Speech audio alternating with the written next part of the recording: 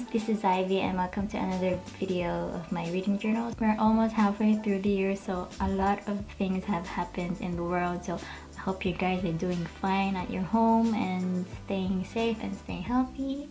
For this video, we're gonna do my June spread for this reading journal. So over on our Bookstagram, we're also holding a lettering challenge. It's called Read the Stars Challenge. I'll also be doing the spread after the June spread. I think it's gonna be quite a long video.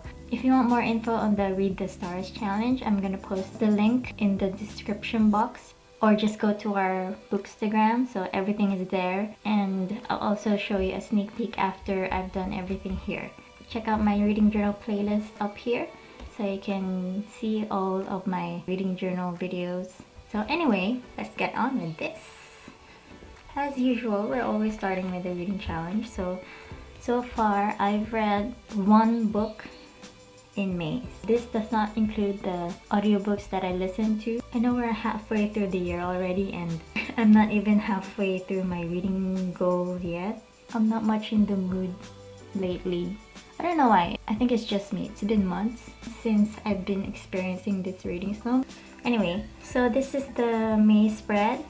I was expecting it really to be colorful of different shades of purple and pink but then there were some days that I didn't read a lot so this is really my favorite spread, the jellyfish. The only book that I finished is The Knife of Never Letting Go by Patrick Ness. So this is the first book of the Chaos Walking trilogy. I didn't expect to enjoy it as much and I regret that I didn't read this earlier. It's one of my favorites so far. As you can see here, I've rated it 5 stars everything because it's just awesome and really a page turner. So we have here the dog in the book who is Manchee and I really really love this character. I like the main character, um, what's his name? Uh, yeah, so I like the relationship of Manchee and Todd in this book and I really admired the development of their relationship and how they went on adventures. If you know what I mean, there was just this part of the book that was so sad.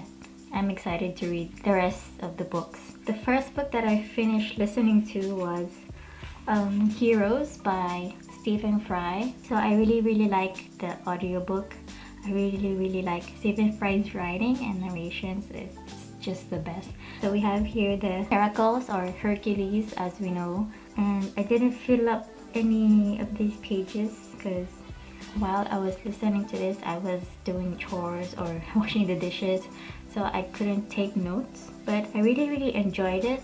It has hints of comedy. It was fun listening to and Stephen Fry's just hilarious. I I love it. So I rated this 4.8. So it's not a perfect 5 stars. It was just some of the stories were just, the pacing was just a bit slow. But it's not bad. And the second and last audiobook that I listened to is Happy Money by Ken Honda. So this is a general self-help audiobook. I always borrow audiobooks that are self-help because it's like listening to a podcast and it counts as reading a book.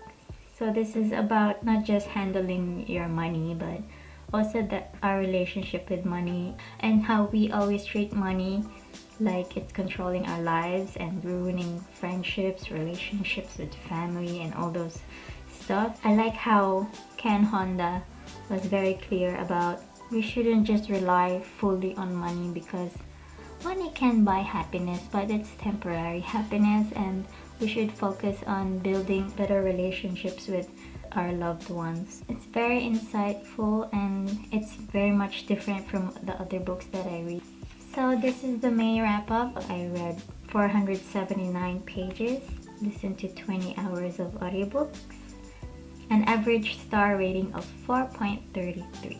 So we have five posts on our bookstagram and one upload on our booktube which was the May spread or May theme that I did. The reason why these are still blank because as I'm filming this, it's still kind of the end of May. I wanted to upload this earlier, like before June because of the reading challenge blah.